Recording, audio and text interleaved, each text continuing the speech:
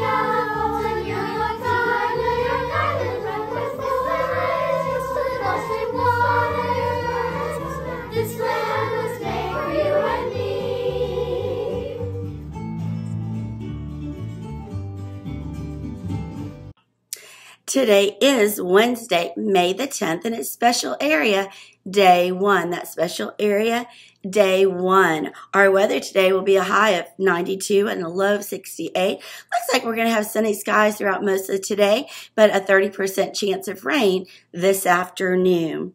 For lunch today, we're going to have fiestada pizza and or a yogurt platter. You can choose from garden salad or seasoned corn, and you can choose from assorted fruit or fruit juice. And as always, white chocolate or strawberry milk. Just a reminder to our um, teachers to let Miss Shirley know if you are going to um, not be in the cafeteria for lunch at any point for her planning purposes. We only have one birthday today that we have listed, and that is Leo in Miss Davis's second grade class. I know they're going on a field trip today. What a fun day to have a birthday, Leo. Happy birthday to you.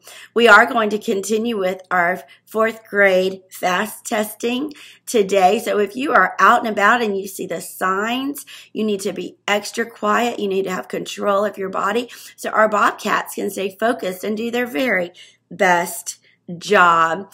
We want to congratulate at the beginning of the news. You would have seen some pictures. Our STEAM team went to a competition on Friday.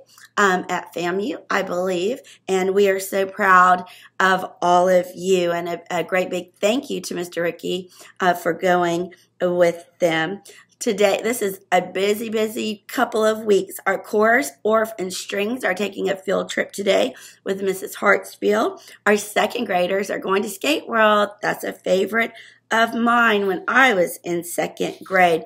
Listen, all your books are due by this Friday. Friday. Today's Wednesday, Thursday, Friday. But if you get all your books in and your name is clear, you get to, by Thursday afternoon, you get to put your name in for this cute little Sammy the Sloth. Yes, he's as soft as he looks. Yes, he's as sweet and cute. So if you, once you have your books returned.